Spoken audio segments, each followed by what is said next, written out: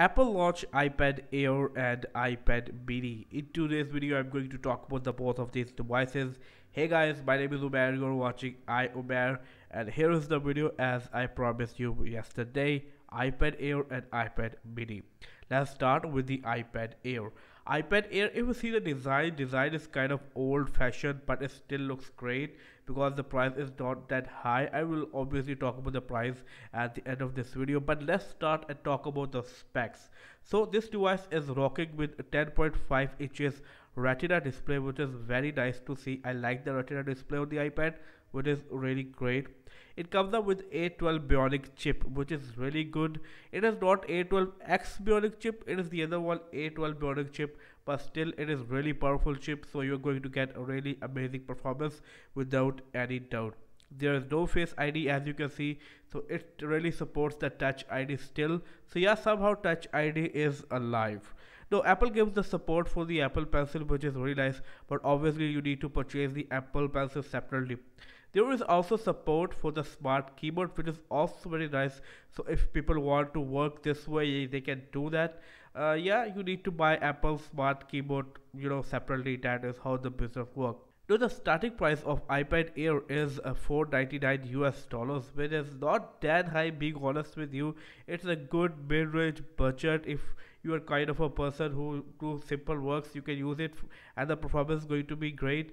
And with the Apple Pencil support you can draw a couple of graphs you can work on your graphics and all those things. So I think this is a good price range and I think this is a really good product from the Apple.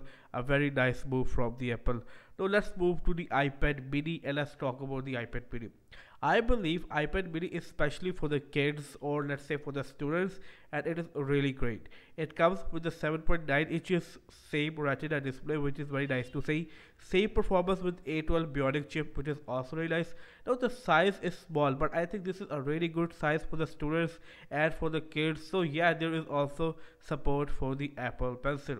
Now support for the Apple Pencil makes a great sense for this one and for example if you're a student and you want to graphic designing or you are doing some PDF file work or something like that Apple Pencil can help you a lot with doing stuff and making it much easier. So in this way I think this is really good. I know this is also in the old fashioned design but still it is a good option. So there is no face ID at all still a touch ID but finally touch ID is available and personally I like touch ID too so it works for me. Now the starting price is 399 US dollars which is also very nice to see and being honest with you, I would say that both iPads are really good for their price ranges. Talk, according to the price ranges, both are giving good performance and good uh, design language. Everything is really nice. So I think if you're going to purchase anything for your kids or are you a student, you're looking for something like this, I think this is a really good option and you can definitely put your money in it and you can purchase for it. This was this video was just a quick thinking what I think about about the specs. This is not a detailed review because I'm not going to use these any of these devices. So this was just what I think about and yeah this is just kind of a news video that Apple launched these devices. Anyways I will see you in my next video. Peace